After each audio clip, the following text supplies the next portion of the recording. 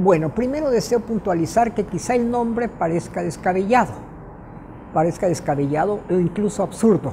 Absurdo para algunos eh, profanos o para algunos no estudiosos de aspectos tan puntillosos, tan sui generis, de estos hombres que contribuyeron a transformar la historia de la humanidad, que incluso son considerados genios, los genios.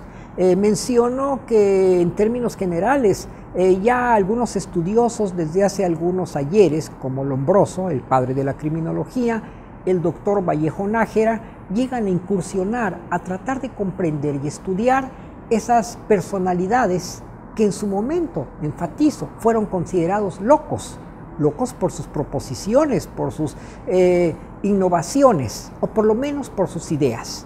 Entonces, pues, eh, en esta conferencia, ¿qué abordamos? Abordamos aquellos rasgos, aquellas características que pueden parecer para muchos eh, eh, de un enfermo, propias de un loco, ¿sí? Propias de un loco.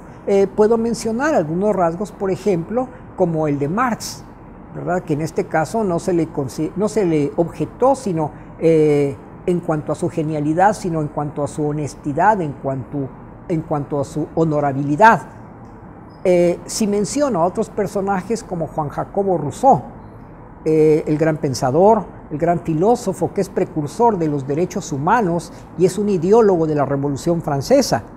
¿Qué otras personalidades podemos mencionar con rasgos que prácticamente eh, eran rayanas, rayanas en el absurdo? Como cuáles? Las de Van Gogh, un hombre que muere en la miseria, que solo logra vender un cuadro y que incluso se suicida pero que sus obras literalmente son las más cotizadas en la pintura universal. Eh, si voy a otros pensadores, a otros genios, como Freud, aunque Freud revoluciona la concepción de las ciencias de la conducta, eso no excluye que este no haya sido cocainómano. Cocainómano porque bien, hoy lo entendemos, él tenía un cáncer de maxilar y eso lo, eh, lo lleva a utilizar la cocaína la cocaína reiteradamente e incluso hace un texto propiamente de apología de la cocaína, de las virtudes de la cocaína, lo cual hoy, nos parece irrisorio, irrisorio o cuestionable. Se incursionó en otras vidas eh, que no solo eh, fueron geniales, sino además nos destruyen a la imagen del ícono cuando nosotros estudiamos a estos grandes hombres porque cuando eh, leemos las biografías clásicas, que están suficientemente maquilladas o son suficientemente incompletas, tal parece que estamos ante superhombres, ante superhombres que emergen, eh, ¿por qué no?, de familias adineradas, de hogares muy, eh, muy bien formados, de donde hay solvencia para apoyar a estos que transformaron la historia. Y no, si descubrimos, por ejemplo, al más grande cómico de todos los tiempos, muy cuestionable para muchos, pero el hecho concreto es que eh, no, no se le considera superado, que en su momento empieza no solo a pedir limosna o hacerle el reír en las calles, como es Charles Chaplin, ¿sí? Indudablemente, eh, no solamente su producción muestra genialidad, sino también tiene características un tanto rayanas para algunos en conductas patológicas o anormales. Recordemos que él vive cuatro matrimonios de los, eh, y con tres de estas mujeres eh, se casa con menores de edad, prácticamente.